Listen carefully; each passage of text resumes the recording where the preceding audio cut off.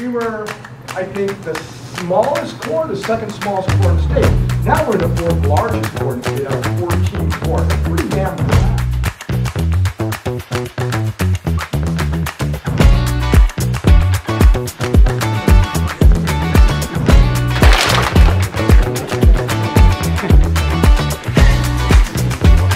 If Jimmy would have stopped. So wherever it